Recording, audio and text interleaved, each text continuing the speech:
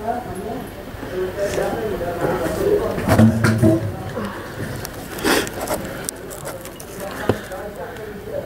شوية عن موضوع الزفاف في مشاية اسكت اسكت